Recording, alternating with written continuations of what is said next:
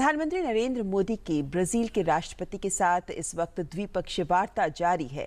दोनों देशों के बीच कई अहम समझौतों पर इस द्विपक्षीय वार्ता के बाद हस्ताक्षर होने की उम्मीद है।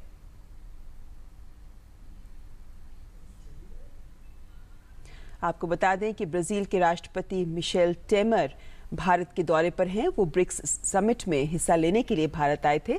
कल ब्रिक्स शिखर सम्मेलन का समापन हुआ और उसके बाद आज उनकी द्विपक्षीय वार्ता इस वक्त प्रधानमंत्री नरेंद्र मोदी के साथ जारी है।